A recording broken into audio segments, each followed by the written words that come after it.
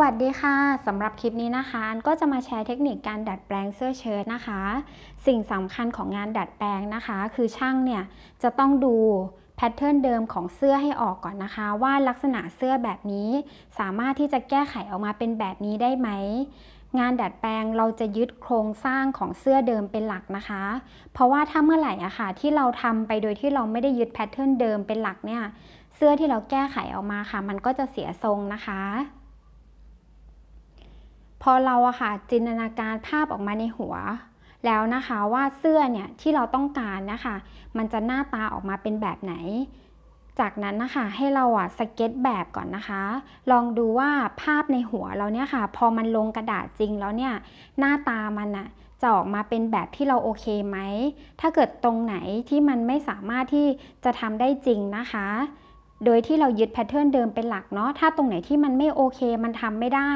ให้เราอะค่ะปรับแก้ตั้งแต่แบบสเก็ตช์นี้เลยนะคะ ตรงนี้อันก็ได้ใช้วิชาสเก็ตช์ตั้งแต่สมัยที่อันเรียนมหาลัยนะคะ ตอนนั้นอันก็คือจะต้องสเก็ตช์แบบแบบนี้ค่ะ มาถึงขั้นตอนของงานดัดแปลงจริงนะคะ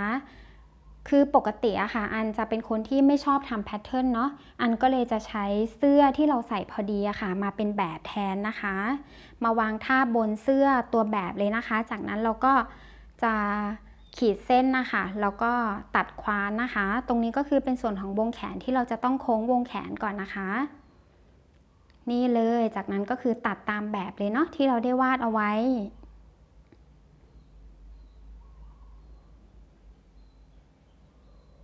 สำหรับตัวนี้นะคะ ดีไซน์ที่มันเก๋ๆนะคะ มันก็จะอยู่ที่สาบหน้านะคะ ตรงที่เป็นกระดุมเนาะจากของเดิมคือมันจะอยู่ตรงกลางใช่ไหมคะ ตรงนี้อันก็จะให้มันเยื้องมาอยู่บริเวณด้านข้างนะคะพอเมื่อเราได้ตัวเสื้อเสร็จนะคะ เราก็คือจะมาทำในส่วนของแขนนะคะ ตัวนี้ก็คืออันก็จะโค้งวงแขนใหม่เลยนะคะ แล้วก็ตัดความยาวใหม่ค่ะ ความยาวที่ได้ใหม่ก็จะเป็นความยาวของแขน 3 ส่วนนะคะทำทั้งสองแขนให้เหมือนกันนะคะ นี่เลยค่ะ แล้วก็วางท่าไปเลยค่ะ จากนั้นก็ตัดหัวท้ายนะคะ นี่เลยเสร็จแล้ว ส่วนนี้ก็จะเป็น การตัดผ้าเฉลียงนะคะ ผ้าเฉลียงเราจะเอาไว้สำหรับกุนรอบคอค่ะ เพื่อเก็บความเรียบร้อยนะคะ ในขั้นตอนของการเย็บอะค่ะตัวแขนเนี่ยอันจะจับเป็นจีบทวิตนะคะ เพื่อให้มันดูมีลูกเล่นมากขึ้นเนาะนี่เลยค่ะ ตรงหัวไหล่อันจะจับเป็นจีบทวิตเนี่ยค่ะ พอได้ตัวแขนเสร็จแล้วเราก็เย็บประกอบเลยนะคะ เนี่ยค่ะ ได้แล้ว แขนเสร็จเรียบร้อยแล้วจากนั้นเราก็มาเย็บตรงคอนะคะ อันจะใช้ผ้าเฉลียงนะคะ มากุ้นขอบนะคะ นี่เลยค่ะ อันนี้ก็จะเป็นการกุ้นขอบคอนะคะ นี่เลยเสร็จแล้วเหมือนกัน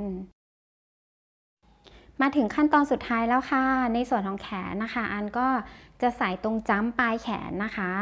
ตามแบบที่เราสเก็ตไว้เนาะก็คือ แขนมันจะต้องอรัดตรงปลายแขนพอดีนะคะ เป็นแขนจ้ำอะค่ะ อันก็คือจะใส่เป็นยางธรรมดานะคะ ตรงปลายแขนเนาะเนี่ยค่ะ เป็นยางเส้นเล็ก นี่เลยเสร็จเรียบร้อยแล้ว ใส่ออกมาก็จะได้ประมาณนี้นะคะ อันว่ามันเป็นเสื้อที่เก๋ๆนะคะ เราใส่ออกไปไหนเราก็คือจะมีสไตล์ที่ไม่เหมือนใครอะค่ะสำหรับคลิปนี้ก็เท่านี้นะคะ ขอบคุณสำหรับการติดตามค่ะ บ๊ายบายค่ะ